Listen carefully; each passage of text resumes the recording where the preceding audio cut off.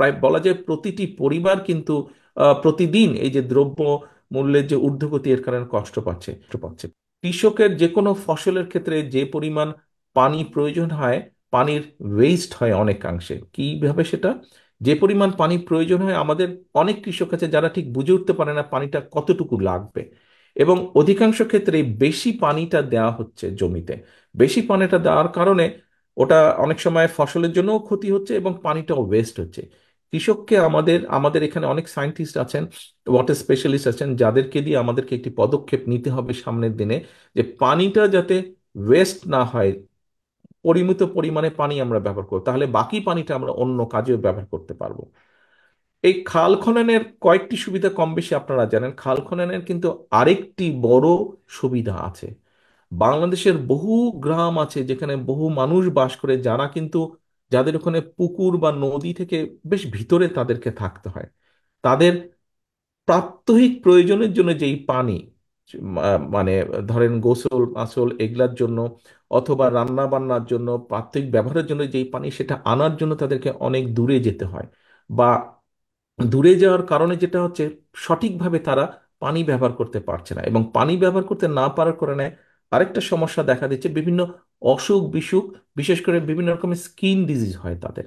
আমরা যদি বিভিন্ন গ্রামের ভিতর দিয়ে খালগুলা খনন করতে পারি এবং খালগুলাতে যদি পানি রেখে দিতে পারি রিজার্ভ মতন, তখন এই মানুষগুলো যারা সহজে পানি ব্যবহার করতে পারছে না, এই মানুষগুলো কিন্তু তখন পানিটা অ্যাক্সেসটা আরও ইজি হবে তখন।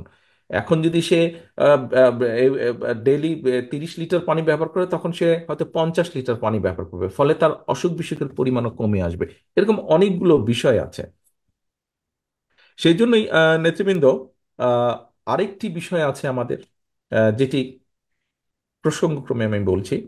যে যেমন এই যে, যেটা আমি বললাম যে আমার কাছে কারণ আছে বিশ্বাস করা যে আমরা প্রোডাকশন যদি না বাড়াতে পারি, তাহলে এই যে দ্রব্যমূল্যের যেটি নিয়ে মানুষ প্রতিনিয়ত কষ্ট পাচ্ছে, প্রত্যেকটা সমাজের শ্রেণির আপনি নিম্ন মধ্যবিত্ত বলেন মধ্যবিত্ত বলেন, মধ্য মধ্যবিত্ত বলেন, নিম্ন মধ্যবিত্ত যেভাবেই যার কথাই বলেন না, মোট কথা একটি পরিবার, প্রায় বলা যায় প্রতিটি পরিবার কিন্তু প্রতিদিন এই যে দ্রব্য মূল্যের যে ঊর্ধ্বগতি এর কারণে কষ্ট পাচ্ছে।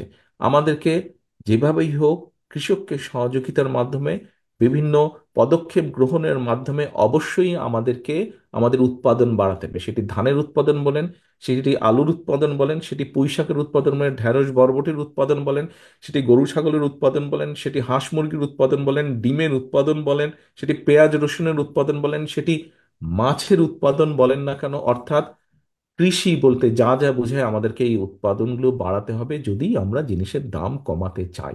এবং তারপরে তো বাজার ব্যবস্থা আছে। কৃষককেও চেষ্টা করতে হবে আমাদেরকে।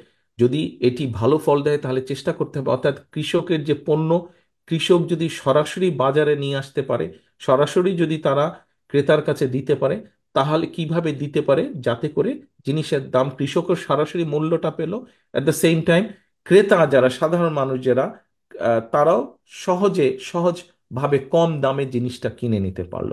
কাজেই নেতৃবৃন্দ, আমার মনে হয় আপনারা কৃষক দল। শুধু দল গঠন করলেই হবে না, আমাদের দলের যে লক্ষ্য, যে কথাগুলো আপনাদের সামনে আমি আজকে তুলে ধরলাম, এগুলো হয়তো একদম নন পলিটিক্যাল কথা। রাজনীতির কথার পাশাপাশি আমরা তো শুধু বক্তব্যের জন্য না বিএনপি এমন একটি দল, যেই দলটি দেশের জন্য, দেশের মানুষের জন্য কিছু করার লক্ষ্য রাখে।